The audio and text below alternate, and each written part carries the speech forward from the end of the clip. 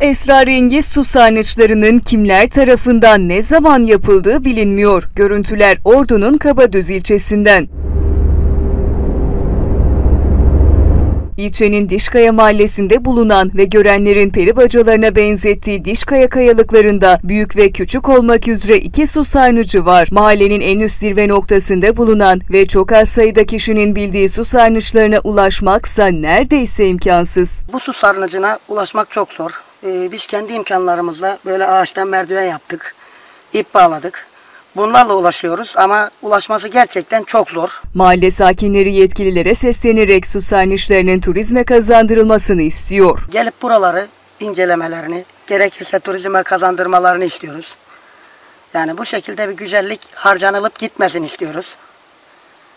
İmkanlar el verdiğince gelip görmelerini istiyoruz. Karadeniz'in peri bacaları olarak adlandırılan kayalıkların hemen altındaki esrarengiz su sarnıçları görenleri şaşırtıyor.